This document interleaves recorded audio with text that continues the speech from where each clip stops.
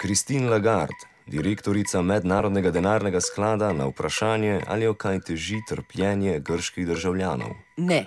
Pomislim na majhne otroke iz šole v majhni vasici v Nigru, ki so deležni dveh ur pouka na dan, ki si po trije delijo en stol in ki si srčno želijo izobrazbe.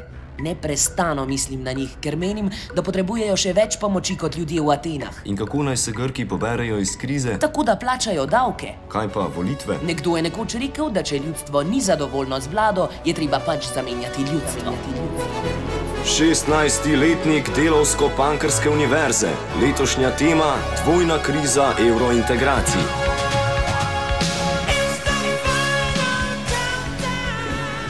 Moje, moje predavanje začenja um, nov tematski blok znotraj uh, tega ciklusa predavanj uh, in sicer naslov tematskega bloka je ideologija, uh, tako da sem se odločil, da se bom strogo držal te uh, podteme. Um, mogoče za, za ceno uh, notranje koherentnosti predavanja. Um, ampak to bomo še videli. Uh, moje izhodiščno vprašanje je, kako da je evropska ideologija še vedno dominantna ideologija v Sloveniji, kljub postopu v EU in uh, prevzemu evra. Uh, se pravi, kako da je recimo uh, še vedno kot normativna, politična in ekonomska in socialna uh, ideologija nastopa ideale Evrope ali pa evropske vrednote, čeprav bi mogla biti ta uh, pot že, že, um, že zaključena, uh, se pravi, uh, že, že dokončana. Se pravi, kako da še vedno uh, nastopa evropska ideologija kot normativni ideal, kateremu bi mogli um, prilagajati samo družbeno, politično in ekonomsko stvarnost v Sloveniji, uh, čeprav je to formalno že doseženo, uh, pa z vstopom v, v Evropsko unijo, s prevzemom s prevzemom evra, s prilagoditvijo zakonodaje, s prevzemom evropskih ekonomskih obrazcev in modelov in tako naprej.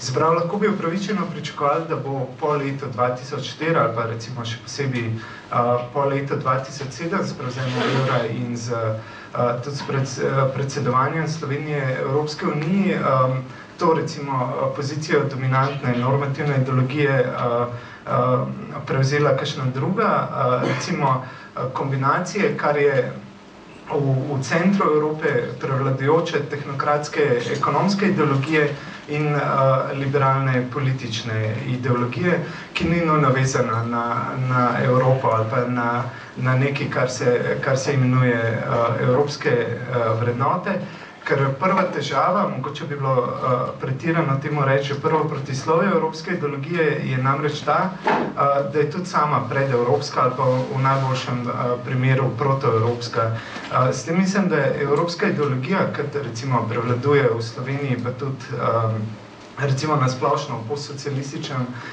delu Evrope je esencialistična, nacionalistična, ukvarja se z iskanjem prostora, za, z iskanjem prostora v naročju Evrope za izvoljeno nacijo, je izključujoča in nestrpna, ukolikor je proevropska ideologija istočasno ali krati tudi antibalkanska ideologija, se pravi beži z Balkana in mu nasprotuje, oziroma je, ko bi rekel, zdaj, zdaj lahko po več kot dveh desetletjih, recimo, postsocialističnega ali pa tranzicijskega obdobja rečemo, da je, da je osnovna značilnost evropske ideologije ni tok, ali pa osnovna snov evropske ideologije ni, ni tok Evropa sama, uh, kot je, uh, kot je nasprotje Balkana. Tako da zdaj bom narisal eno enostavno tabelo, v kateri bom samo postavil, postavil nasprot, um, oziroma Eh, navedel osnovne značilnosti evropske ideologije in uh, postavil nasprot tisto, kar, kar ne bi veljalo za vrednote Evrope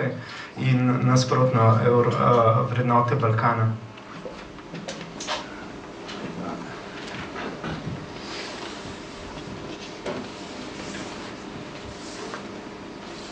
Da bo sam na levo stran, to je Evropa, to je Balkan in v bistvu jih samo naštevam, zelo, zelo enostavno za Evropo ne bi veljala za evropsko vrednoto odprtost in potem nasprotno zaprtost kot balkanska vrednota, potem za Evropo individualizem, nasprotno za Balkan kolektivizem, za Evropo politična svoboda in za Balkan državna represija.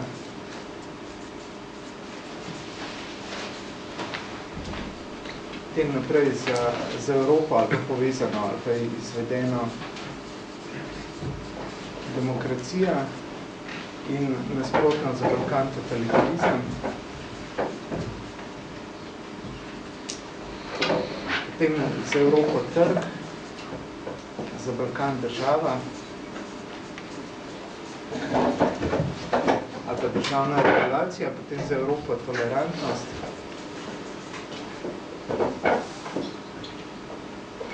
In za Balkan nacionalizem. Za Evropo podjetniška pobuda,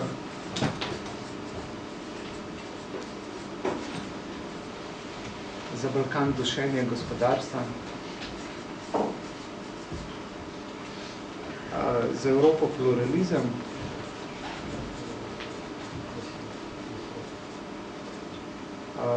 za Balkan enoumje,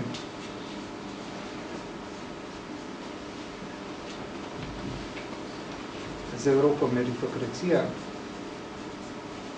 Večinoma, kot lahko vidite, gre samo za variacijo na temo za, za Balkan klientelizem in nepotizem in zadnja za Evropo pravna država in za Balkan korupcija.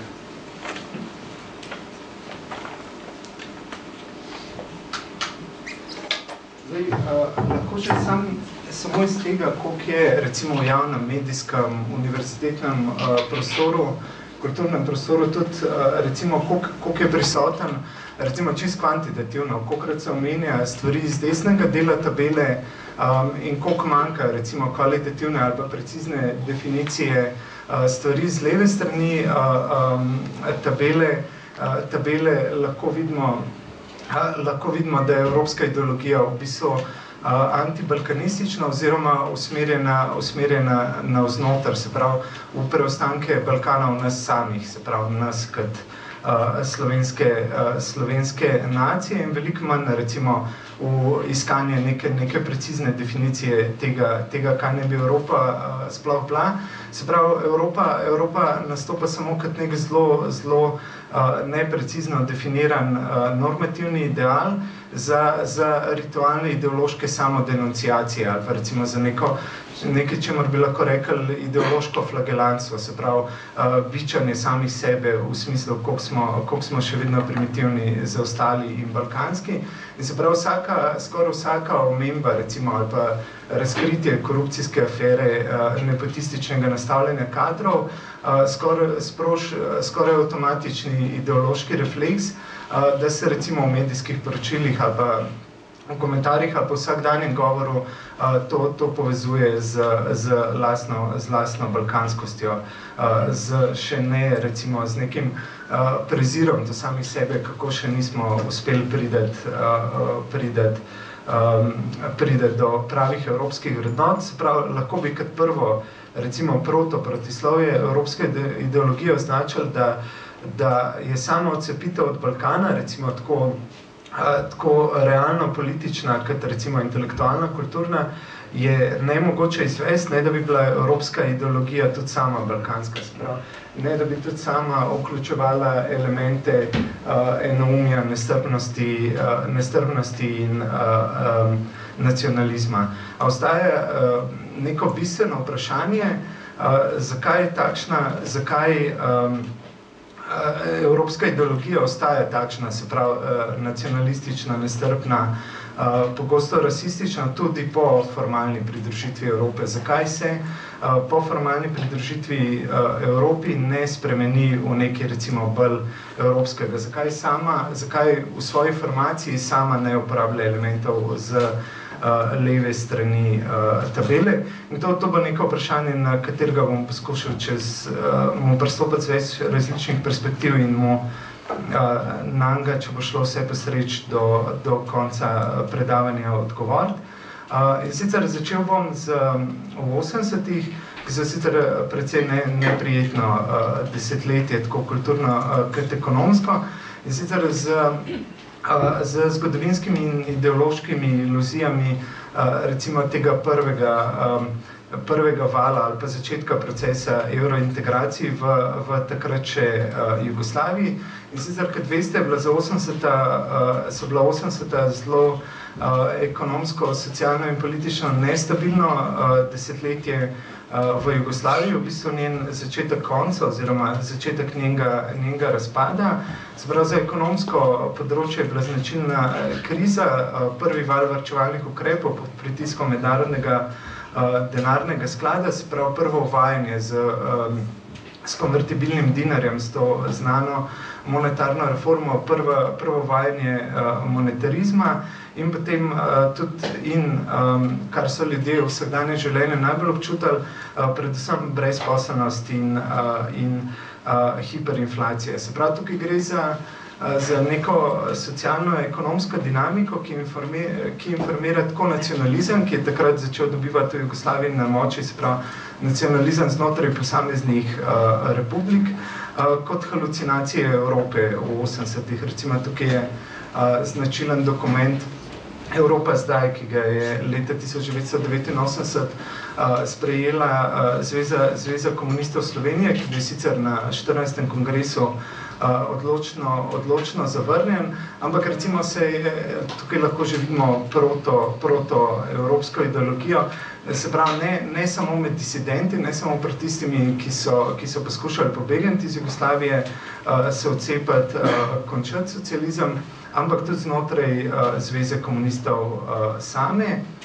In recimo v 80-ih, in tudi že prej, recimo začne se že prej, ampak v 80-ih se okrepi tudi trend politične in ekonomske decentralizacije v Jugoslaviji, kar recimo na neki točki leta 89 Jože Topučenko omogoča, da, da reče Jugoslavija je predraga, ne moremo si jo privoščiti. Se pravi, večina rasističnih argumentov Balkanu kot, kot prostoru kulturno kulturno retardiranih, intelektualno inferiornih, uh, lenih ljudi brez delovne etike in tako naprej je kasnejša. Uh, jo dobimo v zgodnih, jo dobimo v zgodnih 90-ih, v tem, kaj saj pomen uh, znanih virih, v poznih 80-ih uh, prevladujejo strogo ekonomistični argumenti, zakaj je treba iti iz Jugoslavije. Preprosto zato, ker zahteva, zahteva preveč fiskalnih transferjev, uh, zato ker se denar slovenskih davkoplačevalcev steka v Beograd in, in kasneje nimajo nič od tega, se pravi, gre za nek ta klasičen malopodjetniški, malopodjetniški resentiment. Se pravi, ampak hkrati pa tudi sama socialistična ureditev, ki je temeljila vsaj v Sloveniji na polni zaposlenosti, visoki stopni socialnih pravic, na um, na pregovornih počitniških, počitniških hišicah tudi za navadne industrijske delavce. Um, na univerzalnem brezplačnem dostopu do zdravstva in šolstva se začne krhati. Prav, uh, tudi sama zaide hkrati z ekonomsko in socialno, uh, zaide, uh, zaide tudi v, v politično krizo, ker je bil socialističen sistem, sistem ki, je, ki je vso svojo politično legitimnost črpal pač iz zagotavljanja uh, polne zaposlenosti in, um, in relativno uh, visokega standarda uh, delovskih množic. In kot piše um, Susan Woodward uh, v svoji knjigi Socialist Unemployment, je padec standarda in pojav brezposobnosti, še posebej v javnem sektorju, zdaj govorim samo za Slovenijo, tukaj so bili Um, situacija je bila v različnih republikah velike različne, uh, zelo različna, se pravi Bosna in Srbija, recimo, ste poznali uh, uh, nezaposleno že veliko prej, ampak recimo um, vsaj od 60 let naprej. Um, recimo v, v Sloveniji se padec standarda in pojav brezposobnosti, še posebej v javnem sektorju, kjer je skoncentrirana socialistična inteligenca oziroma srednji razred v narekovajih, če lahko uh, o čem takem v socializmu sploh govorimo, se pravi srednji razred definiran ne teoretsko, ampak uh, sociološko, se pravi, ljudje, ki iz očitnih razlogov nimajo lastništva nad uh, produkcijskimi sredstvi, a ob enem niso, recimo to bi bila ta sociološka definicija, niso deformirani uh, od industrijskega dela, se pravi, so kultivirani in izobraženi in pri svojem delu uh, uživajo uh, veliko avtonomije, se pravi, govorimo o pravnikih, zdravnikih, univerzitetnih profesorjih, uh, kulturnikih, uh, delu, liberalnejšem delu, uh, delu politike, doživijo se prav s tem, ko se začne krhati socialna varnost in pojavljati brezposobnost tudi v javnem sektorju in v državni upravi, se s tem nič uh, osnovo politič, mislim, javni sektor, zdaj to v socializmu je smešno govor, ampak recimo v javnem sektorju kot uh, temu, kar se danes potem pojmuje, se pravi, uh, to, to, kar so danes javne institucije za razliko od recimo industrije pa trgovine in se pravi, uh, s, tem, s tem, ko brezposobnost prodre tudi tja, so nič osnova politične uh, legitimnosti, uh, legitimnosti socializma, uh, ki s tem, da so delavci sicer v manjši meri, ampak še vedno odrinjeni so od neposrednih sredstev uh, političnega vpliva in političnega odločanja, klasični industrijski uh, delavci, um, le, politična legitimnost uh, um, socializma stoji in pade s konsenzom tega v narekovajih socialističnega srednjega razreda, se pravi uh, kulturnikov, politikov, pravnikov, pravnikov in uh, intelektualcev. In tudi, tudi te so tisti, ki začnejo pa z množičnimi, z množičnimi zborovanji uh, in raznimi drugimi uh, disidentskimi aktivnostmi. Se pravi, v tej, v tej situaciji, ker socializem ne ustreza več svojemu zgodovinskemu poslanstvu, ki ni, ko ni več možen uh, izpolnjevati svojih uh, ekonomskih in socialnih oblik, se Evropa uh, pojavlja kot nadomestni ideal, a z enako vsebino. In to, to je zelo pomembno. Se pravi, recimo konec 80-ih pri, uh, pri liberalnejšem ali pa proevropskem delu uh, um, inteligence uh, predstavlja, uh, predstavlja možnost za izpolnitev tistih obljub, ki jih socializem ni mogel. Se pravi, polne zaposlenosti, visokih plač, polne pokritosti socialnimi storitvami, k temu pa dodal, o čemer pričajo recimo zgodbe gastarbajterjev, povratnikov, pa tudi ekonomske statistike, Uh, temu doda še visoko produktivnost in tehnološko razvitost in nasplošno neko ekonomsko dinamiko, ki je socializem ni poznal. Se pravi, evropski socialni model, klasična neka varianta hibridne tržno-socialne ekonomije, predstavlja enega ključnih mobilizacijskih faktorjev v 80-ih.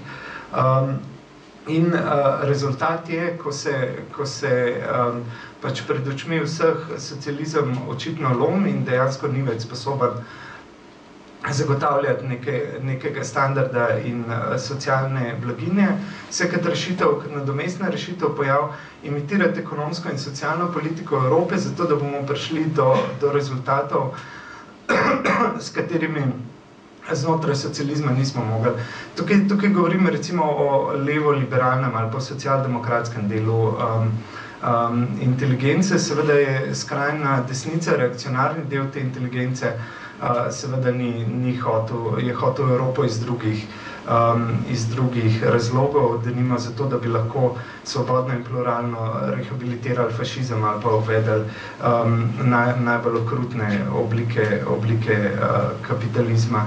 Um, in um, tukaj pridemo do, do drugega protisloja ali pa prvega pravega um, evropske, evropske ideologije in sicer, da v času začetka krize in od, odpravljanja evropskega socialnega modela se za rešitev krize uh, socialističnega socialnega modela sprejme sredstva, ki so ravno začela intenzivno uničevati evropski socialni model. Se pravi, tiste ukrepe, tiste ideje, tiste politični programi in niz ekonomskih ukrepov, ki takrat že konec 80-ih in še posebej intenzivno 90-ih intenzivno dela na odpravljanju evropskega socialnega uh, modela, se sprejme kot uh, pravilni ukrepi za to, da, za to, da bi z evropskim socialnim modelom um, nadomestili socialističnega, ki, ki očitno uh, ni bil več sposoben svoje zgodovinske in družbene reprodukcije. Se pravi, s tem dobimo ekonomski del evropske ideologije, um, oziroma um, niz, niz ali pa seznam nekih ekonomskih ukrepov, ki ne bi pripeljali do, do standarda in socialne države, kot jo imajo recimo v Nemčiji, ali pa takrat se je ogromno govorilo o skandinavskem modelu, se pravi, um, privatizacija, omejitev ekonomskih pristojnosti države, sprostitev podjetniških inicijativ, poslovna, poslovna svoboda, deregulacija in, in podobno. Se pravi, tukaj pridemo do, do problema, ki je podoben tako socialističnem kot v zahodnoevropskem primeru. Socialistična redistribucija zahteva socializirano ekonomijo in tržne, tržne reforme postopno, kot rata jasno, tako na zahodu kot na vzhodu Evrope v 90-ih, pardon, spodkopljajo osnove za socialistično uh, socialno uh, politiko. In prevladujoča, recimo, v, prevladujoča ekonomska teorija postane uh, neoklasična, tako imenovana supply side ali pa na strani ponudbe um, argumentacija, ki prevlada nad mešanico, recimo, tradicionalnega, nad tradicionalno socialistično mešanico uh, uh, marksizma in kenezenizma, ki je bila osnova uh, socialistične, socialistične uh, ekonomike. In v specifičnih zgodovinskih okoliščinah uh, jugoslovanskih 80-ih, uh, ko je padec standarda nenaden in dramatičen, ko izbruhnejo tudi delavski upori in stavke, ko naraste ta brezposobnost in, in, um, in inflacija, zaradi primerjalne prednosti z državami, v katerih je erozija evropskega socialnega modela um, bolj postopna, deluje ta supply side argument prepričljivo. Se pravi, zdaj, verjetno ga zelo dobro poznate, bom um, obnovil samo nekatere uh, osnovne uh, poteze tega, tega argumenta ali pa osnovno logiko. Se pravi, potrebno, potrebno je znižati davke, da se spodbudi uh, ekonomska aktivnost oziroma razbremenitev gospodarstva. Uh, treba, treba je privatizirati uh, predvsem podjetja v državni lasti, pa tudi infrastruktura in javne institucije. Uh, ker je država slab gospodar, treba je znižati plače, višino plač in socialnih transferjev, da se doseže, da se doseže polna zaposlenost, ker pa ne v klasični teoriji je lahko brezposobnost samo prostovoljna. Se pravi, ko dobimo tok podpore, da se nam ne splača delati, smo brezposobni, se pravi, ne, ne pozna neprostovoljne brezposobnosti in posledično z gospodarsko rastjo, ki bo spodbojena z nižanjem davkov na kapital ali pa na najviše dohodke, bo z gospodarsko rastjo rasla, rasla tudi splošna družbena blaginja in naredil se bo prostor za ustvarjanje bogatstva in novih delovnih mest po nekem, recimo po nekem tr, tranzicijskem, tranzicijskem šoku. Sprav, kar, je, kar je zanimivo nasploh in tudi v tem posebnem primeru pri tej supply side argumentaciji je ta, da, da je zelo redko da je recimo liberalna ekonomska teorija zelo redko za svoj argument oziroma do, recimo do 70-ih praktično nikoli ni uporabljala blagostanja delovskega razreda.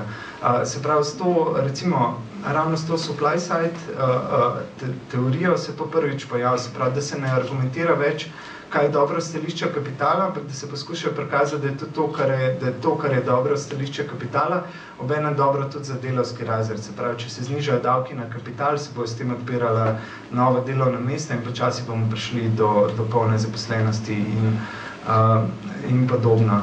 Uh, se pravi, tukaj, tukaj treba... Um, Uh, tukaj lahko dobimo prvi, uh, iz tega lahko dobimo prvi delni odgovor na to vprašanje, zakaj uh, evropska ideologija še vedno ustraja, ker te tržne reforme v Sloveniji tudi dejansko niso bile hitre in popolne, se pravi, ni, ni bilo šok terapije za razliko od večine drugih vzhodnoevropskih držav, zato se tudi ekonomski del evropske ideologije ne izčrpa. Se pravi, dokler, dokler ostaja ekonomija relativno socializirana, dokler ostaja velik delež um, državnega lasništva, in recimo javni sektor, razmeroma velik javni sektor, ki je večji od ostalih posocialističnih držav, ampak v evropskem uh, povprečju, tok časa se tudi ta ekonomski, um, ekonomski del evropske ideologije ne izčrpa. Recimo, če dam, če dam konkreten uh, primer z desnice oziroma z desničarskega medija. Konc decembra je, bila,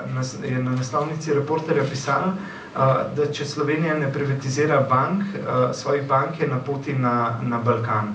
Pravi, to, tukaj je zgoščeno tretje, tretje protislovje evropske ideologije in sicer to, da ima Slovenija razmeroma velik državno, razmeroma um, velik, velik delež državnega lasništva bank in s tem mogoče res ni dokončala svoje, svoje poti v Evropo, kot nas v svojih teh letnih enciklikah vedno znova opozarjate Evropska komisija in uh, OECD.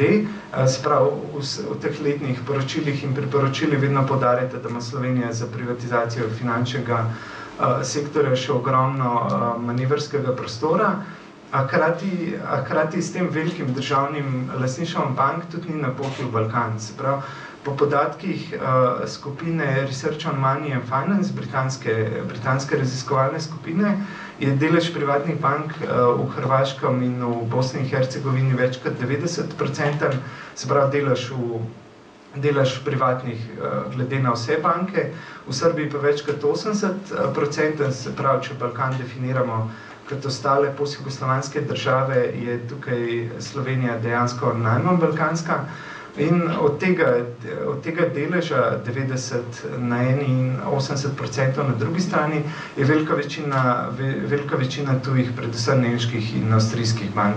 Se pravi, privatizacija bank definitivno ni, ni, uh, ni pot na Balkan. In tukaj, tukaj naletimo na težavo. Se pravi, Balkan pa tudi Slovaška, Mačarska in, in uh, Baljske države, so v 90-ih zelo hitro in skoraj popolnoma privatizirali banke in sprejeli šok terapijo in so se torej, vsaj po ekonomski strani, so postali, vsaj tako, če ne še bolj evropski, kot kot Evropa in ekonomski in socialni rezultati tega procesa so tudi znani. Sprav, po, po podatkih Univerze v Oxfordu je neposredno za posledicami tranzicije v vzhodni Evropi v 90-ih umrl okrog milijon ljudi. Ta, ta regija je tudi dosegla rekordno brezposelnost, ki ni poznala vse od konca druge svetovne vojne množične migracije na zahod, naraščanje revščine, propadanje družbene infrastrukture in komunalne infrastrukture in socialnih, socialnih institucij. Obenem, obenem pa so učinki neoliberalne ekonomske in socialne politike na Zahodno Evropo veliko blažji. Se pravi, v primerjavi z Vzhodno Evropo je v Zahodni Evropi, čeprav um, um, uporablja podobno ekonomsko in socialno politiko, manj brezposobnosti in revščine, je višji standard uh, in više plače, vsaj do recimo tega velikega kriznega šoka leta 2009-2010, uh, ko pride do naglega poslabšanja recimo tudi uh, na irskem in v uh, mediteranskem delu, delu Evrope.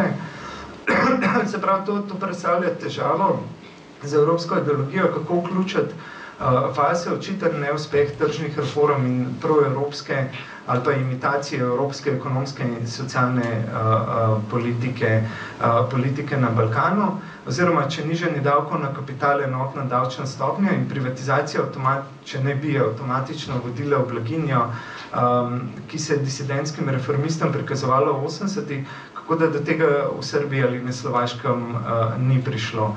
In sicer um, evropska ideologija to, je to, to protislovje sposobna absorbirati in sicer na ta način, uh, da, da projicira problem v balkansko mentaliteto, kolektivizem, plemensko lojalnost, tukaj lahko dam aktualen primer, recimo z levo-liberalne strani političnega spektra, recimo v tem svojem slavnem govoru na, na Dražgošah je Boža Raper rekel, da se slovenska desnica um, v svojem nepotizmu obnaša kot najbolj uh, primitivna uh, balkanska plemena.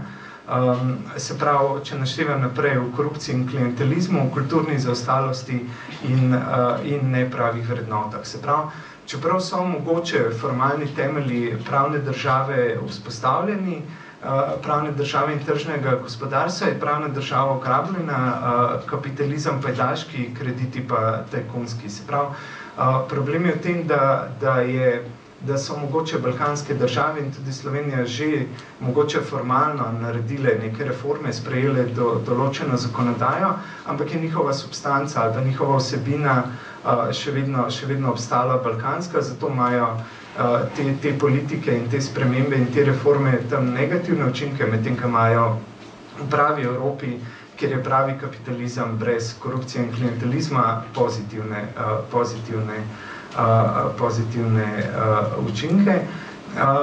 In uh, zaradi, se pravi, zaradi nerazrešenega protislovja med temi sinhronimi iluzijami iz 80-ih, ki, ki sem jih omenil prej, se pravi, ko so se politike, ki so uničevale evropski socialni model, uh, kazale kot rešitev propadajočega socialističnega socialnega uh, modela, se pravi, zaradi tega nerazrešenega protislovja med temi uh, sinhronističnimi iluzijami in dejanskim zgodovinskim razvojem Evrope se rasistični predsodki projicirajo na, na običajno delovanje, delovanje kapitalizma.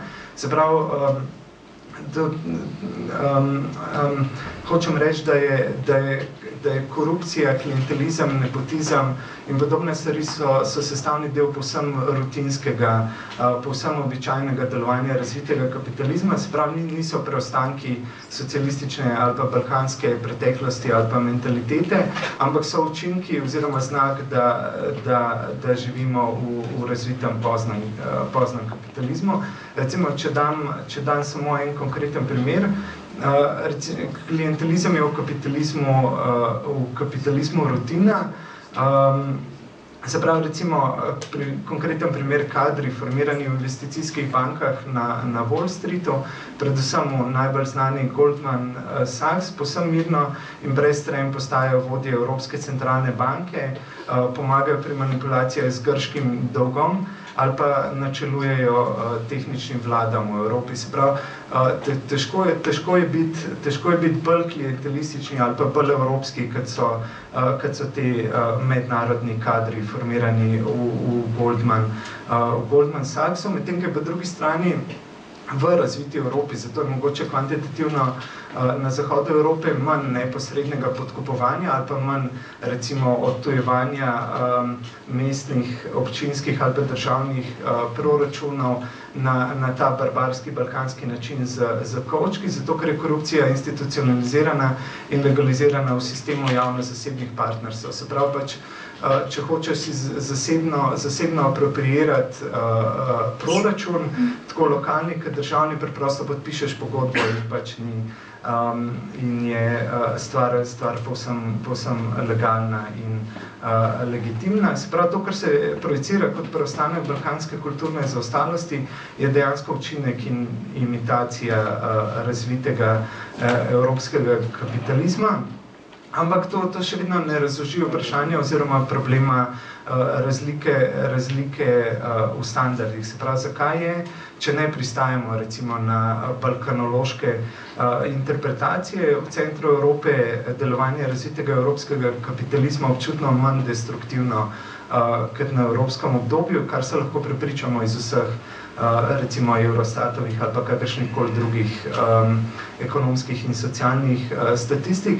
In zato bom naredil um, manjši ekskurs v teorijo krize, uh, pri čemer pač uh, pričakujem, da, da ste poslušali tudi uh, predavanje uh, Saša Tofurlana, Tako da bom zelo, zelo sam na hiter uh, povzel to tendenco k, k zelo splošno k padanju uh, profitne mere.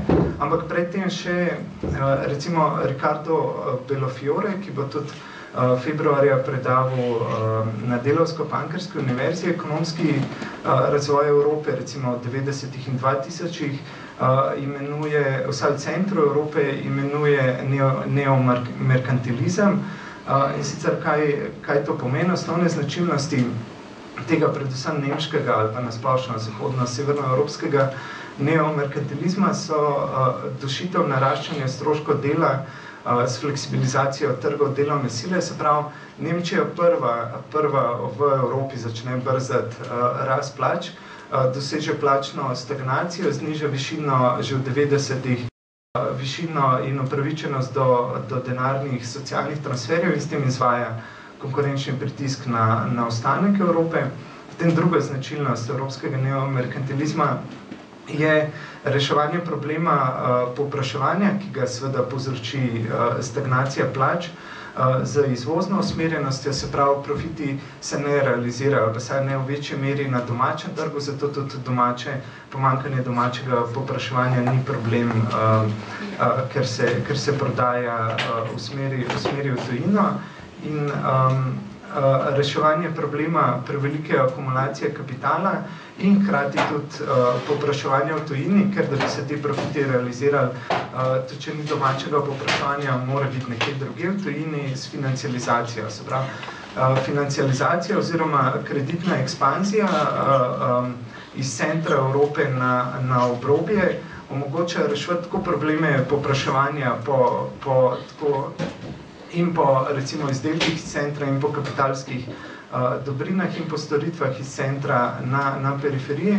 Obenem pa olajša problem prevelike akumulacije kapitala v centru, se pravi, če ni uh, pravih investicijskih, investi produktivnih uh, investicijskih priložnosti, se kapitalisti omakne in začnejo, um, se jim s financializacijo odpre cel, celo, novo, celo novo polje možnega investiranja, za uh, špekuliranjem z donosom državnih obveznic uh, evropskega, evropskega uh, obrobja. Se pravi, omogoče, omogoče bolje investicije tako zasebne uh, kot javne dolgove ob šipkem domačem popraševanju in zasičenosti, zasičenosti uh, trgov. Uh, se pravi, celo, kako bi rekel, tveganje, tveganje krize se s to neomerkantilistično ekonomsko dinamiko uh, iz centra, iz centra uh, prenese, uh, prenese na, na uh, evropsko obrobje.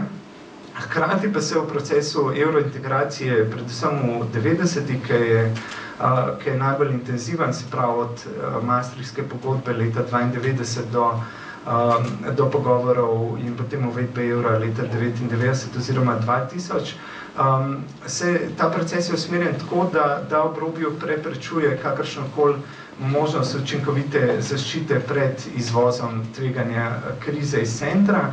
Se pravi, enotni, enotni trg in valuta, kar sta stebra evrointegraciji, uh, držita, vzdržujeta um, konkurenčni prepad med, med centrom med centrom in obrobjem, pri čemu je za voljo resnice treba povedati, da da je do, tega, do prvega tega razkoraka prišlo iz endogenih problemov, tako socializma, kot recimo vojaških režimov, iz, iz katerih so se šele v 70-ih izkopale Grčija, Španija in Portugalska, se pravi endogenih problemov s produktivnostjo in tehnološkim razvojem, ki konec 70-ih, v začetku 80-ih najkasneje izgubi korak Zahodom.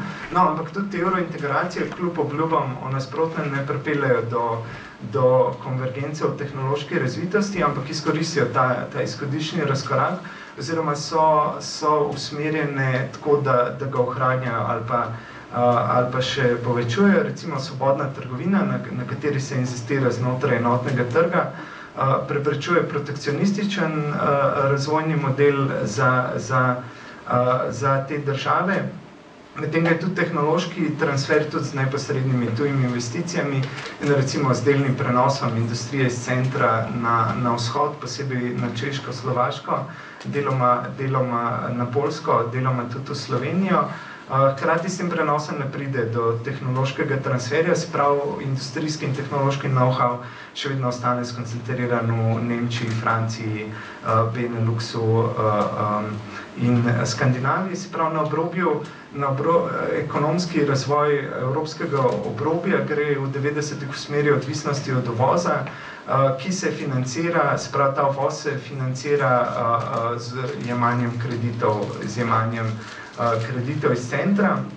In zdaj, če, če to nekoliko, nekoliko uh, uh, formaliziramo, lahko vidimo, da, da je splošna dinamika uh, evropskega ekonomskega razvoja v 90-ih in 2000-ih vključuje tri, tri znane proti tendence, tendenci k padanju uh, profitne mere. Zdaj bom sam narisal osnovno uh, formulo. Sicer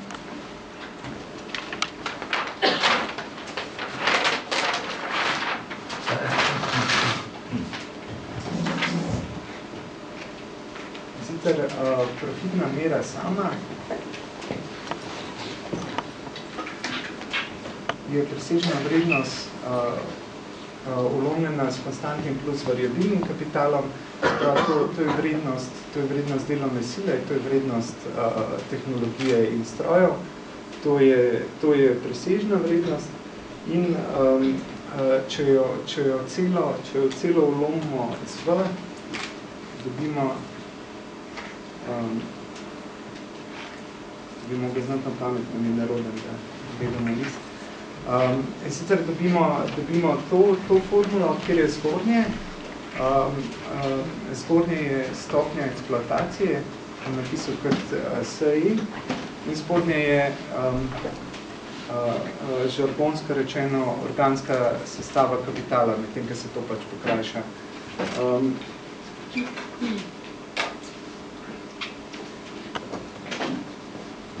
In sicer nekako osnovna logika, to, to je zelo, zelo uh, kontroverzna, uh, drugače zelo kontroverzen del uh, Marksove teorije, uh, predmet, predmet mnogih debat, kjer, uh, kjer sem tudi sam ne, ne odločen.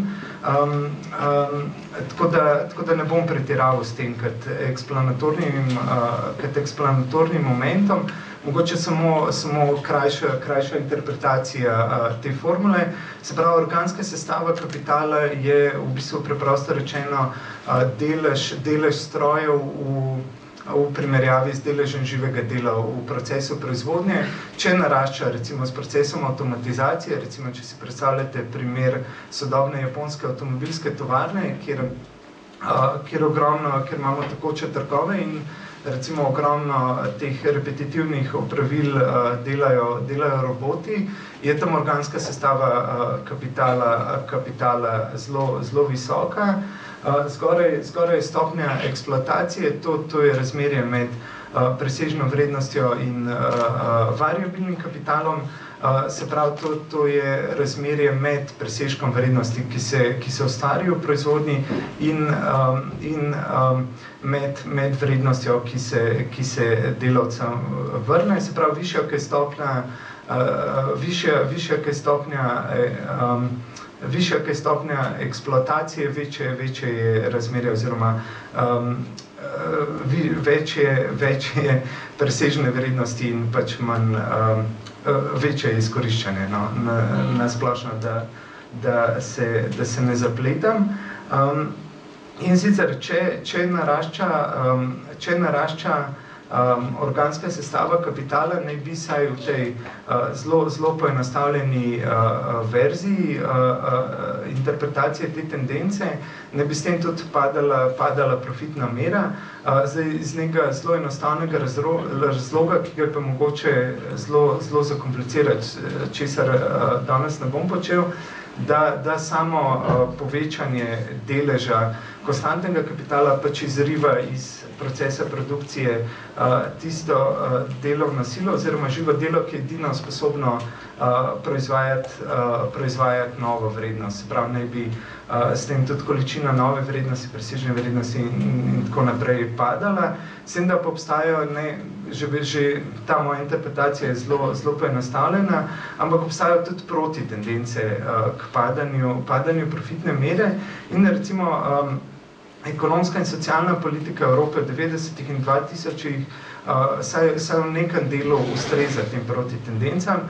In prva je, prva je uh, povečanje stopne eksploatacije, ki lahko, če se stopnja eksploatacije zgoraj v lomku zvišuje, to lahko uh, omili ali pa celo obrne trend zviševanja uh, organske sestave kapitala in recimo v tem pritisku, uh, sploh po letu 2000 z, z Lizbonsko strategijo, se pravi po fleksibilizaciji trgov delovne sile, je očitno tudi povečanje, povečanje stopnje, stopnje eksploatacije, tako, tako recimo delavcev v centru, kot tudi izvoz nezaposlenosti na, na obrobje in, in obratno recimo uvoz hipereksploatiranih migrantov z obrobja v centru, se pravi, ko se Um, to je dinamika, znač, dinamika, ki je značilna za prostor znotraj, uh, znotraj, uh, znotraj Schengena, se pravi, da imamo množične migracije, recimo iz Baltika, iz uh, Romunije, Bolgarije, uh, in tako naprej v, v center, ker ti migranti nastopajo kot uh, podplačane in intenzivno eksploatirana delovna sila in predstavljajo uh, nek paralelni trg delovne sile, ki ni niti sindikalno pokrit, niti uh, ni, ni deležen osnovnih uh, socialnih, socialnih uh, pravic. Druga protitendenca je trgovinska ekspanzija, iskanje novih trgov, to, to je nekako osnovno vodilo že prej opisanega uh, neo, neomerkantilizma. In tretja, obstaja več teh protitendenc, ampak recimo tri sem izbral, ker so um, zelo podobne osnovnim uh, načelom eko, uh, evropske ekonomske politike. Tretja je ekspanzija, uh, ekspanzija kapitalističnega načina proizvodnje ali pa industrializacija uh, področji z nizko organsko uh, sestavo kapitala, kar pomeni privatizacijo uh, javnih institucij in industrializacijo kulture, kulture ali pa komercializacijo kulture in, in kreative, kar je tudi nek proces, ki ga težko spregledamo v zadnjih recimo 30 letih evropske ekonomske in socialne zgodovine. Se pravi, ta, ta kombinacija recimo teh, teh ukrepov ali teh ekonomskih politik na protisloven način v 2000-ih oziroma na začetku novega tisočletja stabilizira evropski kapitalizem v režimu nizke rasti v centru in nepremičninsko, nepremičninske financializirane, neproduktivne, kreditno spodbujene rasti na obrobju. Se pravi, v centru imamo v, v letih pred krizo izjemno, izjemno nizko rast, stagnacijo standarda in plač, medtem ko imamo na obrobju imamo sicer rast, pogosto 4, 5, 6 odstotno, um, ampak je neproduktivna, je, je um, ne, danes bi se rekel, netrajnostna, uh, se pravi, ne gre, za, ne gre za produktivne investicije, ampak večinoma v naložbe v trgovino in, in gradbeništvo, se pravi, za grajenje stanovanj, uh, športnih centrov, shopping centrov in, in uh, podobnega. Se pravi, gre, gre za neenak razvoj in to, to, to je odgovor na, na tisto vprašanje, zakaj so učinki istih ekonomskih uh, politik različni v centru in obdobju, zakaj so nekje manj destruktivni kot druge. Uh, ker gre tako, kot vedno, če gledamo regionalno ali pa geografsko kapitalizem, kadarkoli, v kjerikoli regiji, kadarkoli v zgodovini kapitalizma, vedno lahko vidimo, da gre tukaj za, za neenak razvoj. Se pravi, in uh, v primeru evropskih integracij se, se, se razvija politična in ekonomska dominacija obrobja po centru in zato imajo enake politike različne učinke, ker pač delujejo v različnih družbenih in ekonomskih kontekstih. Dodatno težavo pri tem predstavlja to, da so socialne države obrobja so že v izhodišču uh, vitkejše, deloma recimo na Mediteranu, zato ker že, že v času vojaških diktatur niso bile pretirano razvite ali pa razkošne, deloma v vzhodni Evropi, zato uh, ker je bila njihova destrukcija v tistih državah, ki so prevzele šok terapijo, zelo hipna in nenadna in se težko uh, um, po njej pobrati, zato je, recimo, če, če, če upoštevamo rigidno monetarno politiko uh, znotraj, znotraj eurocone, in uh, zelo, zelo omejeno uh, fiskalno, fiskalno politiko, kar za edino uh, spremenljivko, s katerimi je mogoče prilagajati nacionalno konkurenčnost, uh, pušča, pušča lastne, lastne delovske razrede in vrčevalne ukrepe, proračunske reze in podobno. In zaradi tega imajo obrobne države veliko manj manevrskega prostora, se lahko že manjše znižanje, recimo neke vitke socialne države, že relativno razmeroma mehni rezi hitro vodijo eksplozijo družbenih antagonizmov, medtem ko imajo države centra, še posebej severa Evrope, veliko večji manevrski prostor. Se pravi, lahko, lahko veliko več režejo, preden bi doživeli um, te družbene antagonizme in tako vršijo pač konkurenčni, uh, nižajo stroške dela in vršijo s tem uh, konkurenčni pritisk na, uh, na, na obrobje.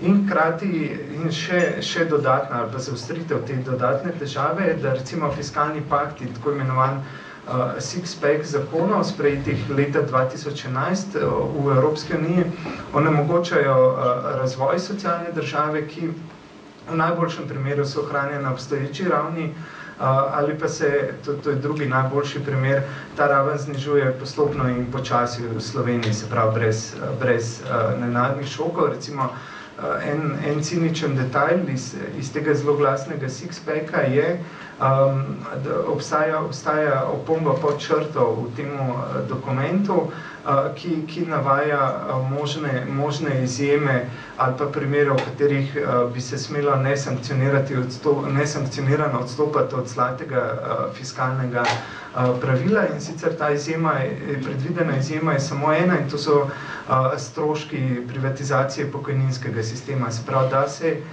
recimo, ko bodo šla zlata pravi, fiskalna pravila in tako naprej skozi ko bojo zapisano v ustavo, um, in ko stopijo, recimo, ko postanejo zavezujoča vsa ta, recimo, zadnji, zadnji nizi novih pravil in zakonodajnih sprememb na ravni Evropske unije, bo možno prekoračiti dovoljen, dovoljen deficit za, za privatizacijo pokojninskega sistema, ne pa denimo za, za investicijo v zdravstvo ali pa obnovo družbene, družbene infrastrukture.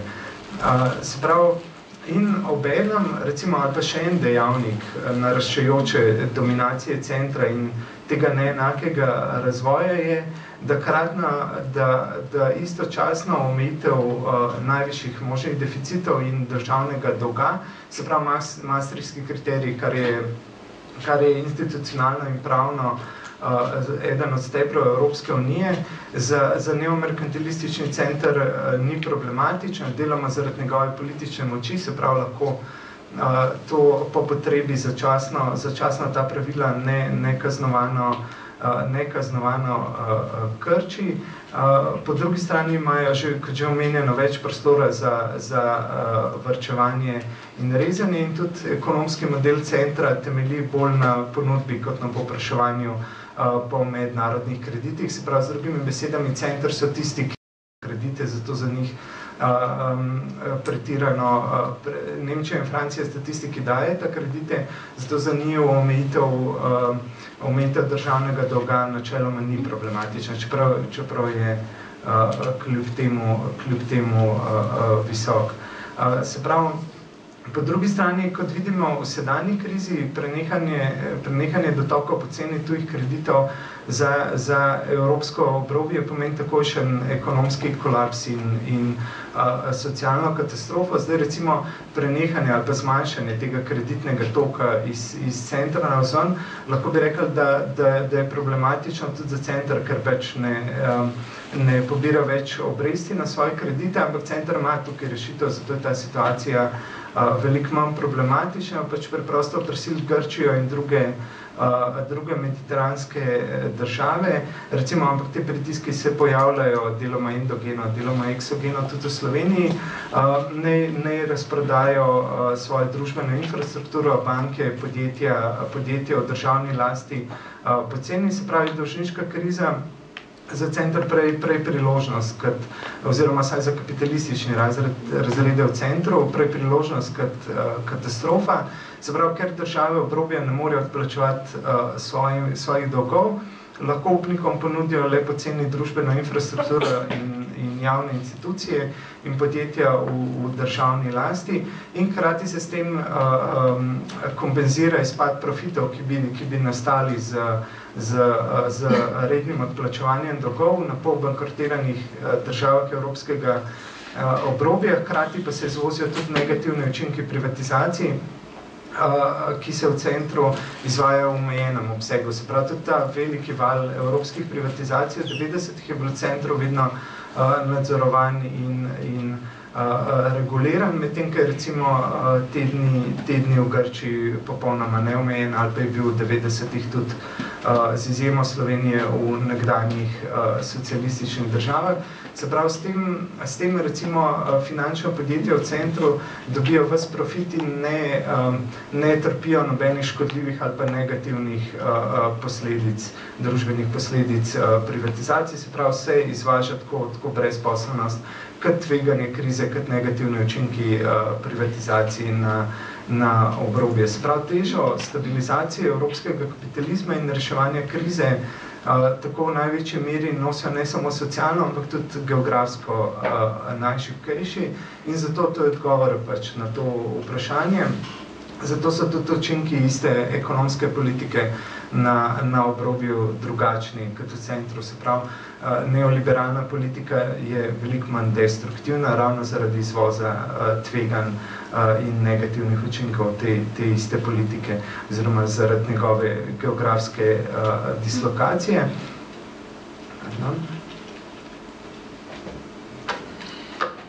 Zdaj, če se vrnemo um, iz evropskega konteksta k slovenski poti v Evropo uh, in zgodbi o tranzicijskem uspehu, uh, če jo gledamo brez kulturoloških ali balkanoloških vizij, uh, je bila Slovenija nekje vmes med tema dvema, recimo uh, idealno tipsko predstavljenima modeloma, centrskim in obrobnim, se pravi, ni uvedla niti drastičnih neoliberalnih uh, politik, čeprav recimo to sedanja vlada uh, pospešeno kompenzira. Uh, privatizacije so bile omejene, kot vidimo recimo iz, uh, iz uh, razmeroma velikega državnega deleža v, v uh, v bankah oziroma finančnem sektorju nasplošno, medtem ko so bile socialne pravice odpravljene delno in postopno, podobno kot odpuščanje, se pravi, ni bilo recimo uh, uh, takih, takih uh, šokov in take brezposobnosti kot uh, v Srbiji, Bosni in drugih uh, posjugoslovanskih državah, zato je uspelo ohranjati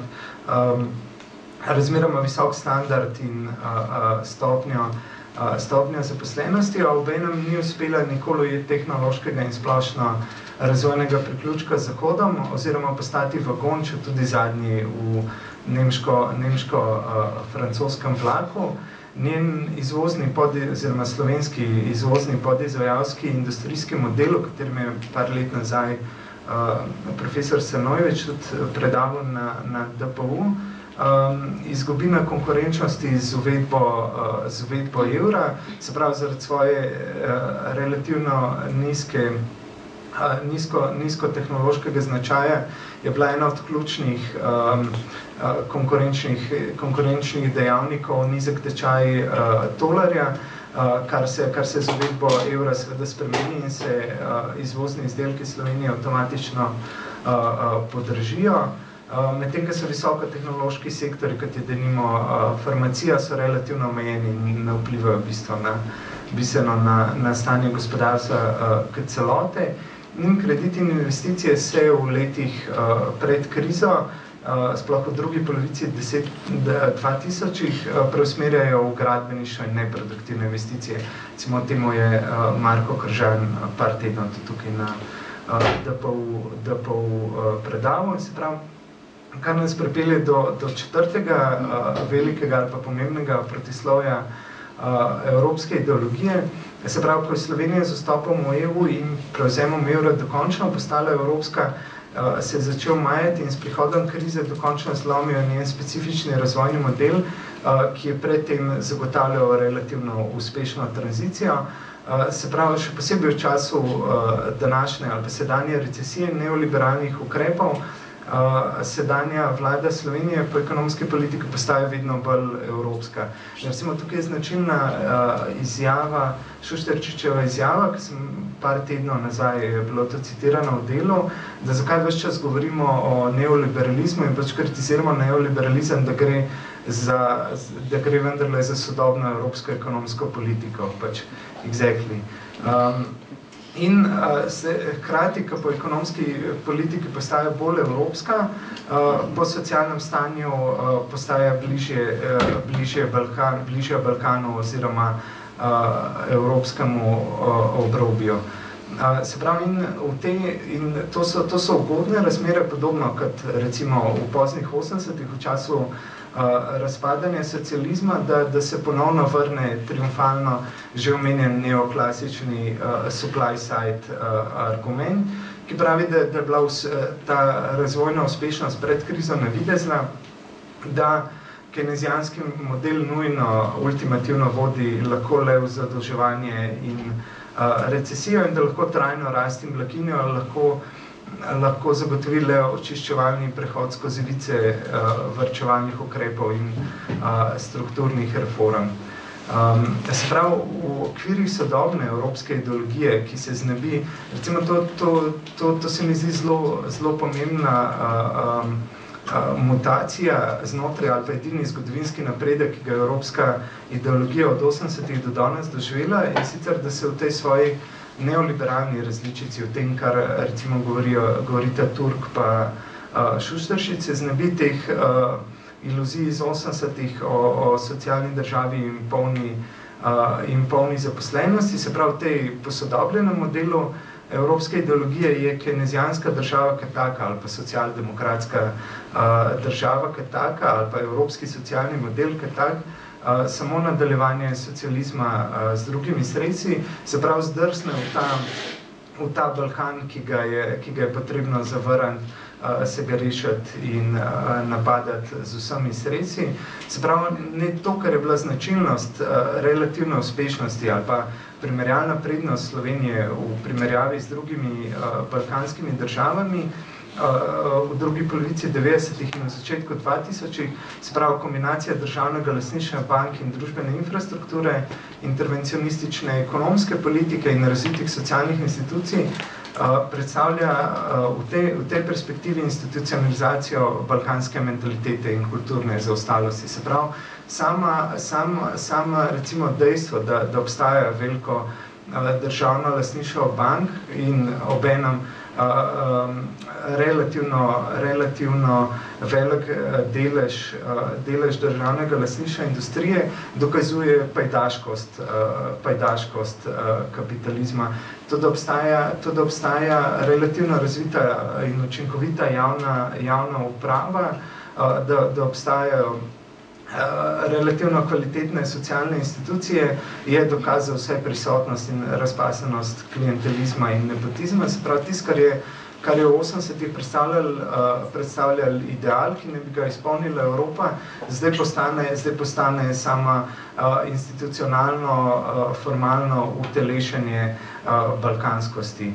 Zato je, recimo, v tej najnovejši mutaciji za prehod v sodobno evropsko družbo odprtosti in kreativnosti, uh, uh, nujno izvesti uh, neke vrste kulturno revolucijo, se pravi, ekonomske metode so pravilne, samo vrednote so napačne, se pravi, miselnost in kultura uh, sta, sta, še vedno, sta še vedno balkanski, tako da v tem, pri tem osnovnem obracu smo še vedno pri tem klasičnem jedru, jedro evropske, evropske ideologije, s tem, da, s tem, da postaja v zadnjem času uh, poudarjeno, poudarjeno uh, antikomunistična.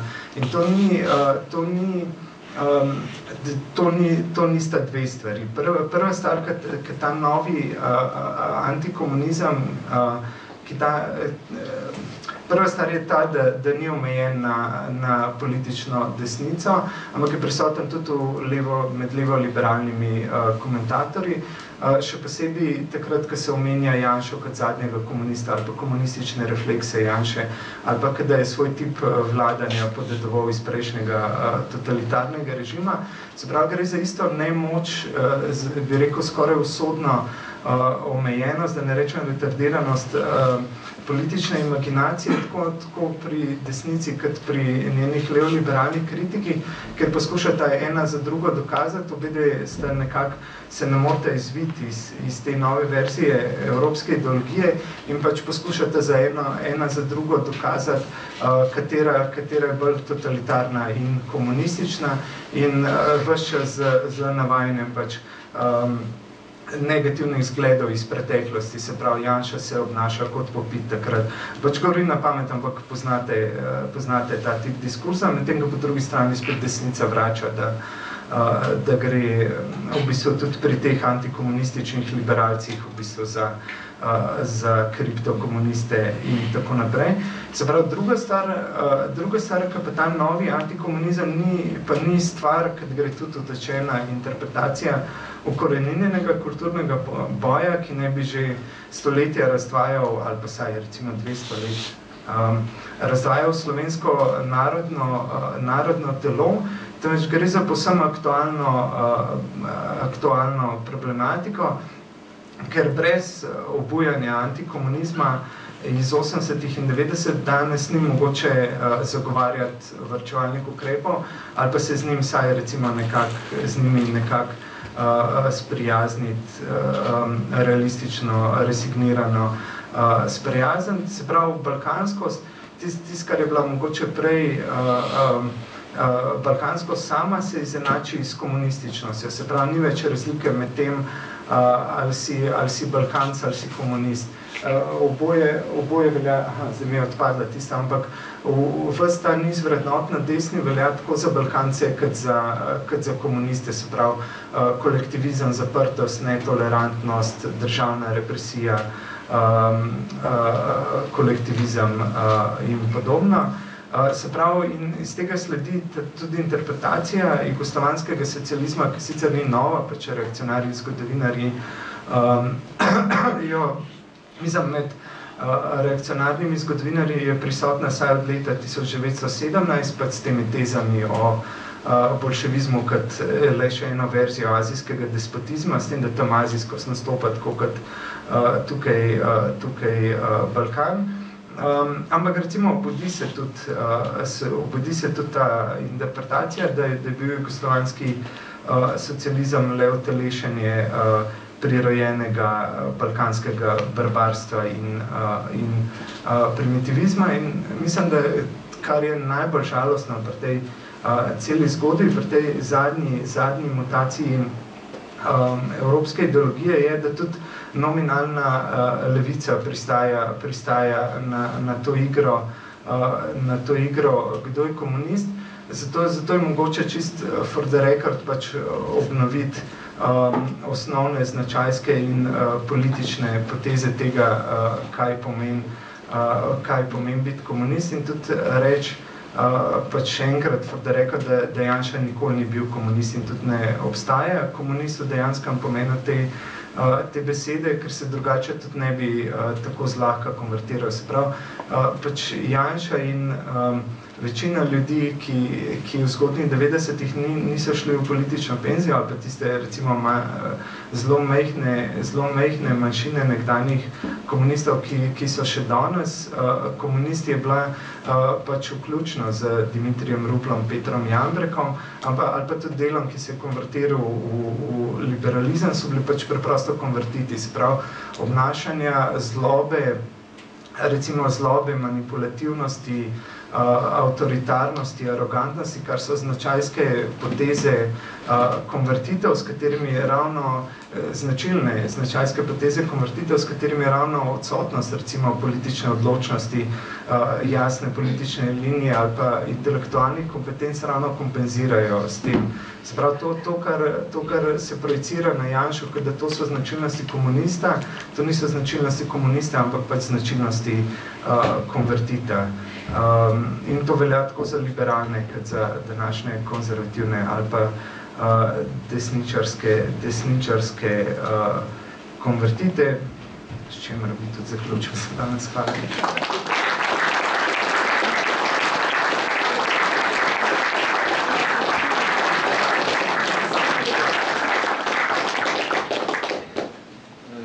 Hvala Primožu za super predavanje. Zdaj imamo v bistvu še 40 minut časa za debato, tako da če imate kakšno vprašanje ali komentarje, kar dvigate roko in vam bo dana beseda.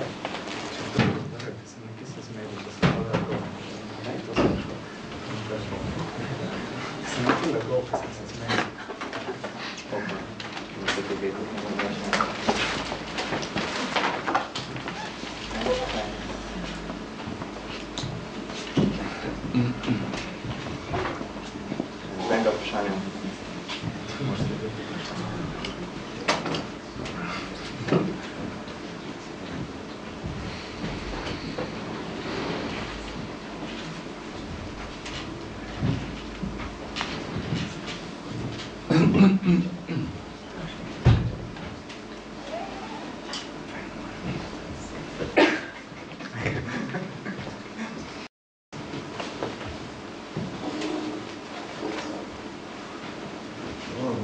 bomo kakšen je predlog?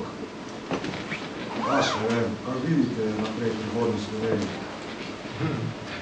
smo v tem, ne vem, v nekem kapitalističnem ali pa socialističnem sistemu, uh, to čela malo razloži. Ja, um, jaz, jaz mislim, da za razliko recimo od 60 pa 70 danes ni možen niti socialdemokratsko kenezijanski ekonomsko-socialen model v eni deželi. Se pravi, to, to ni, um, še, še posebej to, to ni mogoče znotraj, znotraj evroobmočja, krati pa mislim, da, da bi bila tudi um, recimo uni, unilateralni izstop iz, evro, iz evroobmočja, o tem smo imeli zdaj že večletne debate, recimo umestni rezultat je to, da se mi zdi, da bi bil tudi ta uh, samomorilski oziroma še hujši od tega, da, da se ostane za, za metne uh, obrobne države.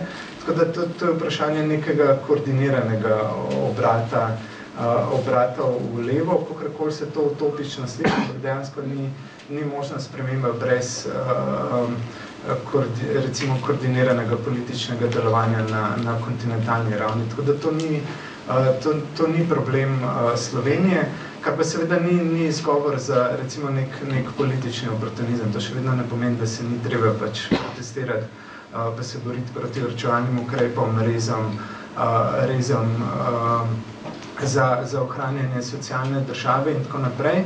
Ampak recimo to, oh, se bo potrebno zavedati, da je to defensiven boj, ki na, na zelo neenakem terenu, se pravi, ki pomeni postopno, postopno erozijo. Lahko rečemo, po vsaki rundi teh bojev lahko rečemo, rekli so, da nam bo vzeli 25 milijonov, vzeli so nam pa sam 16 zmaga. Sam to ni zmaga, to sem pač uh, omiljen poraz. Zdaj pa, um, kaj, uh, zdaj pa, um, ko bi rekel, politična dinamika je pa Evrope kot take, pa to, to ni zmikanje odgovora, ampak dejansko je ne, nepredvidljiva v tem smislu, da bi lahko rekel, leta 2014 bo prišlo do koordinirane socialistične revolucije v Evropske unije. Uh, to, to bi z veseljem rekel, če, če bi imel kakršnekoli razloge, da to rečem, sam, sam jih žal nimam, ampak da je definitivno to bi bila, uh, to bi bila, mogoče ni treba tako dramatično reči, koordinirana socialistična revolucija, ampak recimo uh, obrat, koordiniran obrat v, v levo, tako kot je bil recimo, se vse zgodovinske stvari, človeške in s tem zgodovinske stvari so reverzibilne. Sprav, če je lahko prišlo v 70-ih do koordiniranega obrata v desno, skozi intenzivno intelektualno produkcijo, skozi ustanavljanje mreže think tankov, skozi, skozi izjemne pravniške napore, da si zamislili arhitekturo EU, kot, kot danes obstaja, skozi izjemne napore ekonomistov, da, da prepričajo delavce, da jim je boljše, jim je slabše in tako naprej. Um, skozi vsa ta, um, skozi vsa ta recimo orvelovske ideološke uh, napore po eni strani in tudi po, politične napore po drugi strani, recimo neoliberalne ideje, to ne smemo posavati, so bilo 60-ih smešnih, to, to je bila margina ekonomskih teorij in tudi politično so bili, so bili ridikuli ti ljudje, so se, so se jim smejali. Se pravi, če je bil možen ta, recimo lahko imamo to za Eh, pozitivno-negativni zgodovinski izgled. Če bi možen ta koordiniran zasuk v desno, potem je saj obstaja logična možnost, da, da je možen tudi v levo.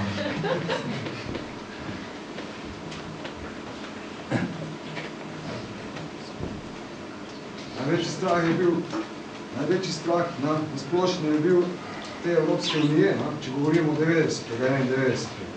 Je bil največji strah, če bi Jugoslavija prišla noter v Evropsko unijo, da bi takratni narodi Evrope, pač te Evropske unije, no, če govorimo o Evropi, ne moramo govoriti, no, ker Evropa smo vsi, no, mi ne govorimo o Evropski uniji. Je bil ta največji strah, da bi ta Evropska unija skupirala jugoslovanski. Zato jim je bolj odgovarjalo, da se razcepi, da Jugoslavija propade. No. Ker če bi Jugoslavija no, bi se pogovarjala o zgodnji 89. leta, da bil na teh pogovorih no, za vstop v Evropske unije, Pomeni, če bi Jugoslavija kot v celoti vstopila v Evropsko unijo, bi to za Evropsko unijo predstavljalo veliki problem za ta kapitalistični svet. Ne? Ker bi pač, moje mišljenje, ne? da bi pač narodi takratne Evropske unije, teh 12 držav, tukaj je bilo v tistem času, ne? bi najverjetneje kupila ne? Uh, sistem, ker bi jim odgovarjala taka Jugoslavija. Ne? Drugi problem je bil pa ta problem, da je na tem v tej Jugoslaviji potreboval pomenil da se Jugoslavija razpade, da se razcepi na več manjših delov, to pa spet ni odgovarjalo, recimo bi rekel Angležom pa uh, Francozom, ker s tem, če pogledamo na kakšen način je Milošević na, izvedel v komunistični partiji, ko je so prišla, zakaj je Slovenija sploh izstopila ven, na? zakaj so šli takrat kučan, pa ekipa ven. Zato, ker vsak amandman, ko so predlagali, je pa brez argumentov, brez vsega. Pomeni, nekdo nekaj predlaga, oni grejo takoj glasovati in pade. Ker je dal enake pogoje, je dal uh, Vojvodini in Kosovo. In pomeni, ste imeli štiri proti štiri, ne? ker je pa ni šlo po glasovi. Ne? Pomeni, francozi pa Engleži so zagovarjali celoto, ker so se bali, če bi prišlo na, do tega, da se razcepi na več držav. In to pomenilo v več držav, jugoslovanski, v Evropski uniji, z enakimi glasovi. Na. Pomeni zdaj, kaj bi se zgodilo s Hrvaškim v Slovenijo, da bi dobili, ne vem, 20, čez 20 glasov. In to pomenilo zelo veliko število glasov in laže manipuliranje te glasovi, pač ideje, z drugimi slovanskimi narodimi, kjer so v Evropski uniji. Pomeni, oni so zagovarjali celovitost. Vojna je šla v korist, da se skregamo, Nemci, pa Vatikan, ki so podprli Slovenijo pa Hrvaško, im je pa uh, bilo nekako dražje to, kako bi vam rekel to, uh, da, se raz, da se razcepimo, da pač nas ni, da se delimo. No? In to zdaj počnejo. No? Delijo narod pač, ker jim to odgovarja. Isto enostavno. In Evropska unija nima prihodnosti. Nima prihodnosti zaradi tega, ker njena kulturna in gospodarska razlika na, je nemogoča. Če gledamo pa samo gospodarstvo na razliko, na kulturi sploh ne govorimo, se pa vzamemo primer Bolgarije pa Romunije. Na kakšen način sta Bolgarija pa Romunija stople v to Evropsko unijo? S kakšnimi pogoji no? je ta Evropska unija sprejela te dve države, da so stople v Evropsko unijo? To je, mislim, to je samo izkoriščenje malih narodov. In mi nimamo prihodnosti, mi, mi potrebujemo nujno, potrebujemo proizvodnjo. Nujno. Mi nimamo nobene proizvodnje. A je res? Brez proizvodnje ne more ni javni sektor funkcionirati, ni zasebni sektor. Po če se bomo pa plačevati? Prvo so nas uropali za podjetnice. Pomeni nobena v tej državi, v Sloveniji, ni imel več kot milijon.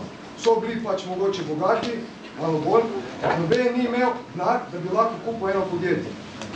In v vseh drugih tranzicijskih državah so naredili, tako ste rekli, takoj privatizacijo bank, pomeni se to zgodilo, je prišel tuj kapital in ta tuj kapital je kupoval pač podjetja, na, pa zdaj ne govorim, in vlagal ta podjetja. Pri nas je pa zgodilo kaj?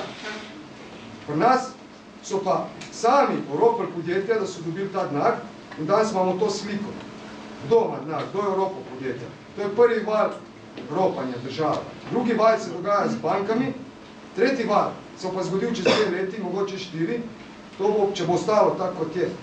To bo bil pa najverjetneje, bo začelo ropati uh, direktno naše naravna bogatstva.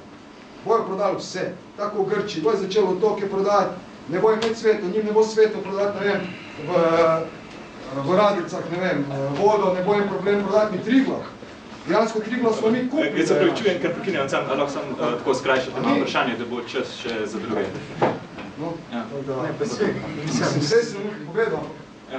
ne, pa se vzamemo kot komentar. Jaz bi imel eno vprašanje. Kje pa vidiš, te, recimo, odgovor na te neoliberalne tendence, ki jih zdaj praktično promovira tudi, pa recimo tudi SDS, ne, kot demokratska stranka ali pa eh, DS kot leva stranka, ne? Mislim, obstajajo, mislim, obstaja ogromno uh, literature o tem, ka, kakšne so, so lahko um, drugačne ekonomske in uh, socialne politike, uh, s, tem, da, s tem, da je veliko lažje to, to misliti kratkoročno, kot dolgoročno. Um, obstaja, obstaja pa tudi veliko pasti no, uh, pri temu.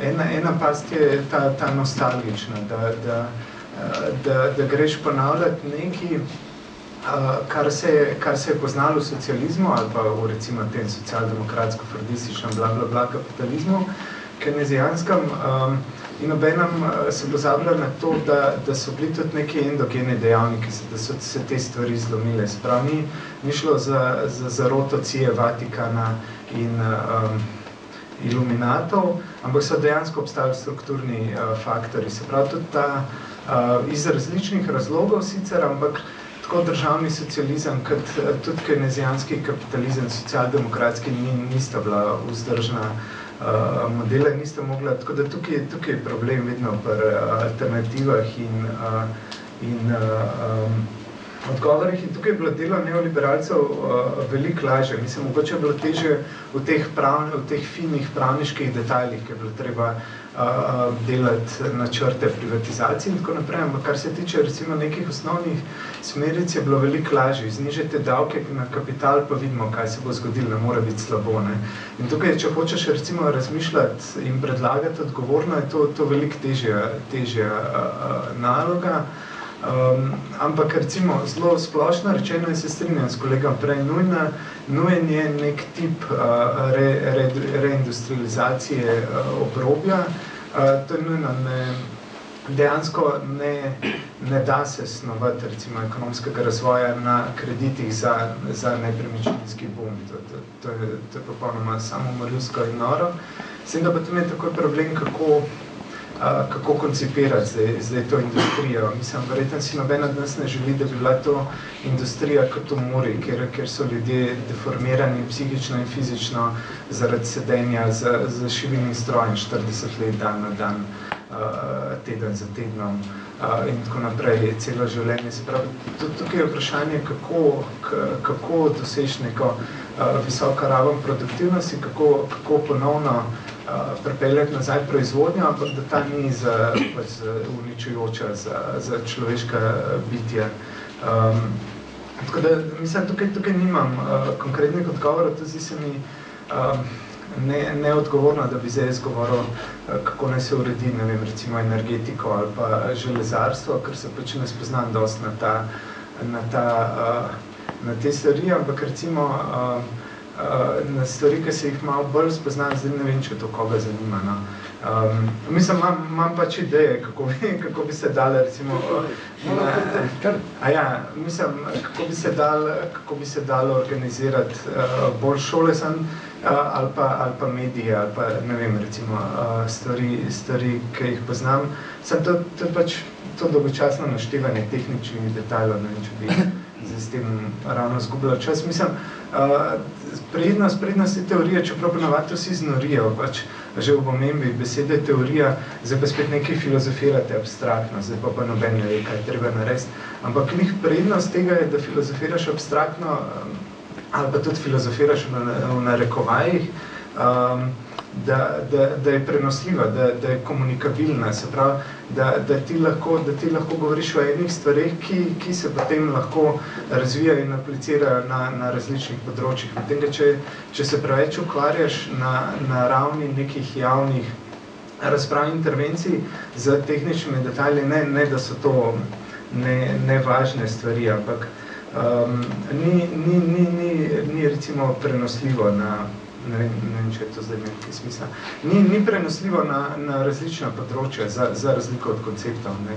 Um, recimo, um, ampak, de, no, mislim, na tej najbolj načelni, abstraktni ravni, da je definitivno neka verzija um, neo samoupravljena, kako ne rečem, de, demokratizacija, uh, ne, ne recimo sam šol pa medijo, ampak pač vseh javnih institucij, se pravi, da, da na mesto institucij, kjer se, uh, kjer se birokratsko aproksimativno, pač se pravi z nekim kvantitativnim merjenjem pristopa do človeških potreb, da se z, z, z upletovanjem samih uporabnikov teh institucij pride neposredno kvalitativno do teh človeških potreb in se začne delati tudi na tem, uh, kako, se jih, kako, se jih, uh, kako se jih zadovoljuje.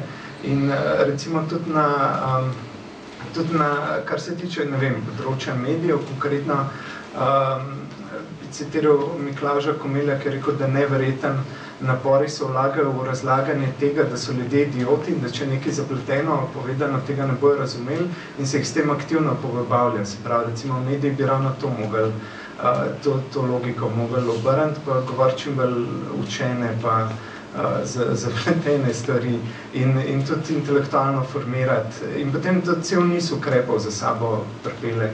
Uh, recimo od tega, da bi mogli imeti kraj, daljše roke novinari, do tega, da bi mogli biti boljši izobraženi, do tega, da bi mogli imeti več prostora za pisanje. In... Se, se proštam, a ste bili novinar mogoče? Uh, formalno po izobrazbi, nisem pa dolgo delal, no, nisem uh, zdržal. No. Mogoče sam malo za spodbudo bi rekel takole, vaše predavanje, tako lepo je bilo, ne? Uh, uvod, predsek in tako. Uh, če pogledamo, če strnemo, v čim manj besed, ne? a se vam ne zdi, da je zgodovina Evrope dejansko zgodovina borbe za trge, za nove trge? Ne? Ja. Zdaj, mi smo parli to v ta vonc. Ne? E, danes sem poslušal, predno se začela oddaja, e, na radiju bila ena zanimiva razprava o Angliji, odnosu do, ne, zdaj, kako se pozicionira do Evropske skupnosti. Ne? In nekdo je omenjal čim več Evrope, čim več Evrope. Jaz se pa sprašujem takole, ne? dovolite, da malo provokativno postavim vprašanje. Kaj pa čim več Evrope, čim manj Slovenije? A, to, a, a ćemo pa reči takole, smo mehna fleksibilna skupnost, ne, ki bi pravzaprav morali, glede na potencijale, ki jih imamo, ki jih obvladimo, da ne da nam Evropa diktira, kako se bomo v svetu pozicionirali, ampak z vlastnimi potencijali, znanjem, da mi to sami naredimo. Ne. Moramo ohranjati to našo entiteto eh, na ta način, da tudi biološko, recimo, da to reprodukcijo ohranjamo. Ne? Veste, kaj hoče reči? Vi ste poudarili znanje, ne? seveda, temelj je liho znanje, ne? Ampak kjere vrste znanja danes prodirajo, ne? kjere določajo pozicijo neke države, recimo mehne države. Ne? Recimo, vzamemo en Singapur, recimo, eh, Emirate, kaj so oni zadnjih 20 let, ko so uvideli, da nimajo resursov naravnih, ne? kaj oni počenjajo, ne? kje se oni eh, najdejo. Ne? In Slovenija ima neke priložnosti tukaj, potencijale, prav v znanju, ne? Ki ga najcenejše, pa ga najdražji lahko prodajaš. Ne? Mislim, pridobivanje najcenejše, ne? produkt pa lahko multipliciraš, ne? mislim, skozi. No, to še jaz ne bilo. Čakaj, tam je bila, dej Saša, no, Ja, tako. Ja, ne, pul se slabo, uh, prvi. Jaz sem Jera, po izobrazbi arhitekta, kar ni važno. Um, mene pa zanima vaš odziv na zadnji uh, komentar uh, Camerona v Angliji, uh, kjer je ravno kar ali po razpisal referendum o izstopu iz Evropske unije. In me zanima, kaj recimo to pomeni za Evropsko unijo in Oziroma, kaj vi mislite o tem, vaš komentar na to? Vem, mislim, Velika Britanija je bila vedno zadržana, mislim, zaradi svojega specifičnega položaja do, do Evropske unije. Mislim, da to ne bo bistveno spremenili ničesar, ne za Evropsko unijo, ne za Veliko Britanijo. Uh, je, je pa to definitivno, um, tako da glede na to, da se ne bo nič res tem spremenil, uh, ker ni um, Eh, Velika Britanija, za razliko od Nemčije, ni, ni omembe vredna uh, industrijska sila, saj ne več. Um, in um, tudi ni omembe, mislim, je, je finančna sila, ampak za razliko od Nemčije ne, ne posluje pretežno v Evropi, se pravi, mislim, posluje tudi v Evropi, ampak tudi na, na vseh svetovnih finančnih trgih, tako da, um, in je ohranila fund, tako da, um, zdaj, um, Tako da zdaj glede na to, da to ni neka poteza, ki bi karkoli spremenila, ne za eno, ne za drugo, vidim to pač kot čist uh, politično vsakdanjem pomenu besede potezo, pač v smislu pri nekem delu voljivcev bo s tem dobil popularnost, predvsem pač med uh, desnim delom desnice, pač med ksenofobnimi. Uh, mislim, da to je treba tudi upoštevati, da v Veliki Britaniji kontinent da se do neke mere prekriva s tem, čemur mi rečemo Balkan. Tako da, to, to je tako kot tiz vic, ki se, ki se konča Balkan, pa začne Evropa, to je odvisno, pač, ki, ki vprašaš. In to, ta niz, recimo, od niso od uh, Grčije, ki bran pred tuškimi upadi v Evropo in potem naprej uh, Hrvaška bran uh, pred muslimani iz Bosne in potem Slovenija bran Schengenom in Avstrija bran Evropo pred slovanskimi hordami. Ta niz se nadaljuje do Velike Britanije, ko pač bran civiliziran svet pred kontinentalnimi barbari pa primitivci.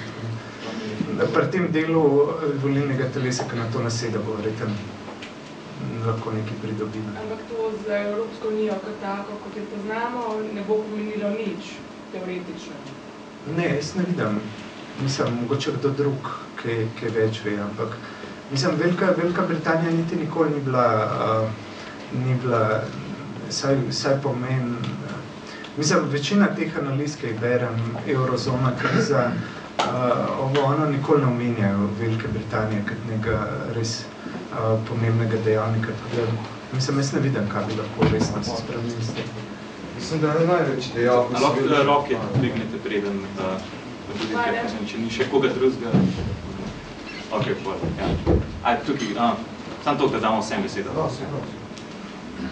Imam tak tema, kaj sem prejmo še rekel, ne, zdaj, prvič opomba, Cameron ni napovedal zdaj referenduma, ne, pa je zelo splitno rekel, v naslednjih tednih, mesecih in letih bom nadaljeval z razpravo o eh, britanski vključenosti v Evropsko unijo. Zdaj, sem včeraj v Bruslju sedel in so to um, evro naklonjeni Britanci komentirali kot zelo lepo, elegantno je odložil celotno zadevo in hkrati zadovoljil eh, konzervativni del svoje stranke. Zdaj, ampak glede posledic pa vendar le, no, zdaj Cameron mislim napravi, da bo problematiziral tri stvari, ne, v Maastrichtskih pogodbi in Lizbonski pogodbi in tako dalje. Ne. Zdaj, problem, ki se ga morda videti, je, da bi lahko kot posledica tega nastalo zdaj za Evropsko unijo, strogo govorim, če se ne oziram toliko, kar je bilo danes povedano, to, da bi potem tudi Nemčija in Francija poskušali izpogajati kakšne spremembe, ki bi seveda šle njim še bolj na roko, kot so jim šle do zdaj. Zdaj, to toliko ima pač neke posledice toliko na politično-ekonomski okvir Evropske unije, tudi toliko.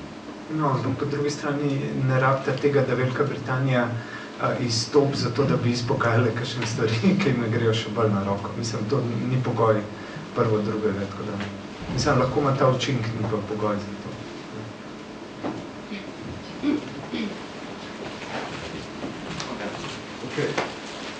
Prej, ko ste govorili o novinarjih, no? Prvo, če hočemo spremeniti splošno te pač novinarske inštitucije, moramo spremeniti urednike. No? Ker novinari niso svobodni, oni pač ne poročajo tisto, kar bi morali poročati, ali pa kaj želijo poročati, oni poročajo tisto, kaj jim uredniki napišejo. Do, do to, recimo, da ni spremljivo na nacionalni televiziji, bi se moglo, ko ste prej govorili o jeziku, in bi raj rekel, da na nacionalni televiziji bi mogli poudarjati na slovenski knjižni jezik, manj kot pravni jezik, ker ga narod mora jih razumeti, o čem oni govorijo. Ne? Ker narod jih zdaj sploh ne razume. Zakaj ne razume? Zaradi tega, ker je najlažje govoriti s pravnim jezikom, da ga ni sam mogoče ne razume, da lahko kasneje na, reče, ne, nisem jaz tega mislil tak, pač, jaz sem mislil to tako. Naj povejo pač slovenski knjižni jezik na nacionalni televiziji, pa na radiju je sigurno obvezen. To je pa drugo, če pa želijo na, narediti spremembe, pa morajo vse javne inštitucije narediti direktno neposredno demokracijo. Pomeni, naj sami službenci izbirajo najboljše denine.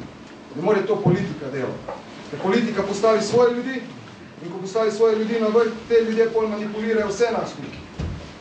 Pomeni, če lahko nekdo določa o tem, kdo je dober, kdo je dober za Slovenijo, ali pa na splošno, kdo je najboljši v javnem podjetju, to naj bo tisti, ko tam dela, ne pa politika.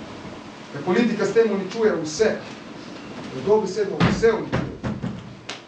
Pač moje mnenje na tisto prej na a, Veliko Britanijo, pa na, na splošno, ne? Evropska unija, imajo pa 100% lahko trdim, znači, Velika Britanija izglasuje izstop iz Evropske unije, se bo zgodilo to, kaj je prej, kaj je prej rekel gospod, pač, ne? se bo zgodilo to, da bo Nemčija in Francija iskale svoje interese. Francoski, zdaj bomo pa povedal dokaz, Pahor gre iskat od Gaddafija denar za stožice, predn Francija pa Evropska unija napadajo Francijo. On to kje pove? Da je totalno neinformiran. Pomeni, kak lahko greš ti iskat od nekoga denar? Lahko samo, mislim, da sorry, nimamo več toliko velik časa. Ne, ampak... Pa to bi bilo še eno vprašanje. Ne, ne, sam še to dokončam. Ne, ne, ne morate, bom, pač, bom, drugim bomo dali prosim, besedo, še no. to. Interesi, ko je rekel prej gospodič, interesi njihovi. Nemčija bo naredila svojo unijo, bo imela pač želela svojo ustvarjati, to govorim v primeru, da Velika Britanija stopi. Na Francija pa svojo unijo, Adria unija. In to unijo oni ne skrivajo. Francozi je doskrat opozarjajo na to, da bojo in želijo ustanoviti Adria unijo z severnoafriškimi državami, katere so v sredozemlju. Zakaj? Zaradi interesov delovne sile. Zato, ker delovna sila pa človek je postal kapital, tako je stroj, tako je, ne vem, tiskalni stroj, tako je računalnik, to je človek. Hvala.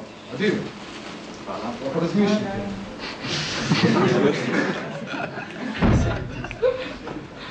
Ja, mislim, da je bila ena anketa objavljena v enem mediju, zdaj dosti pred kratkim, ki kaže na to, da je v Sloveniji velik delež ljudi, sem bi podpiral neko obliko revolucije, če lahko to kaj komentiraš. Ja, mislim, tukaj je isti problem, no. Um, revolucija pač v eni, v eni deželi je bila sicer um, verjetno inspiracija pač še za generacije in um, brez dvoma pozitiven pač, političen dogodek, sam če bi ostala izolirana, mislim, se to je stara zgodba o socializmu v eni deželi. Mislim, um, um, sam, sam, sam beg kapitala, neposreden, um, bi, bi verjeten povzročil, povzročil nek, nek takošen kolaps. Mislim, zelo, Mislim, to, to mi je zelo nepriljubljen žanr, te spekulacije, kaj bi, če bi da futurologija zelo ne, nehvaležna vida. No. V smislu, mislim, definitivno me, me veseli, uh, da, da pač um, uh, to velik procent ljudi podpira revolucijo in upam, upam, da to misel v internacionalnem kontekstu, ne, ne kot v smislu, uh, treba je nagnati pa lokalnih pajdašev, potem bo pa te zasijala ta čista tržna meritokracija in bo vse ok. Um, če bi, sad, mislim, če so vprašanja slabe, tudi odgovori ne more biti dobri. Pa če bi, če bi tako vprašali, ali verjamete, da, da če spodite par, par pajdašev, in bo zasijala čista meritokracija, bo vse ok, pol, pol bi bil dejansko pozitiven kazalnik, koliko ljudi bi odgovorili z ne. Pa. In potem, če ne komentira, mislim, tako bi se mogli delati ankete, brez tega so brezvredne, mislim tako. Ok, zdaj se je čez debato izteku, preden se razidemo, bi upozoril samo še na dve stvari. Prva je ta, da si lahko tam ne kupite zbornike Delovsko-Pankarske univerze in da naredijo borec. Druga stvar je pa ta, da bi vse povabil še na naslednje predavanje, ki bo naslednji četrtek spet tukaj ob šestih. Predava pa tovarišica Andreja Milat iz Hrvaške. Naslov predavanja sicer še ni znan, ampak boste o njem obveščeni, ko boste prijeli pač obvestilnik. In to je to.